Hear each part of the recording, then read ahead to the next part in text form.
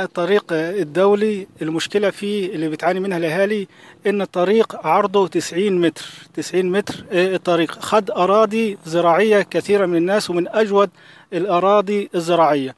أما بالنسبة للتعويض الت- التعويض ضعيف جدا جدا. هو بيدي الإيراد 15000 مع إن الإيراد يسوى لا يقل عن 30000 جنيه وإجراءات روتينية صعبة التعقيد. لحد دلوقتي يعني إحنا أنا عن نفسي ما خدتش في ما خدتش التعويضات. البعض أخذ تعويضات إجراءات آه، صعبة.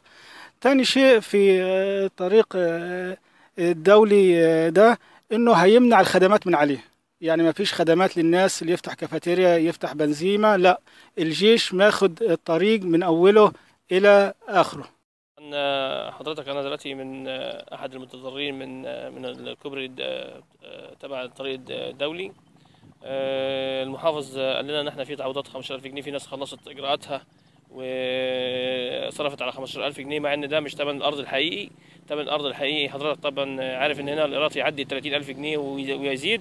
ناهيك عن آه، فلوس الدنيا دي كلها ما تعوضناش عن آه، عن الأرض الخصبة ديت اللي إحنا يعني بقالنا فيها سنين نزرع وتجيب معانا إنتاج جميل وإنتاج حلو وأرض من أخصب الأراضي موجودة في مصر. يعني كنوز الدنيا ما تعوضناش عن الأرض دي. طبعا حضرتك أنا آه، متضرر من آه، من هذا الكوبري وأنا طبعا آه، هذا يعني يعني آه، ضرر كبير ليا.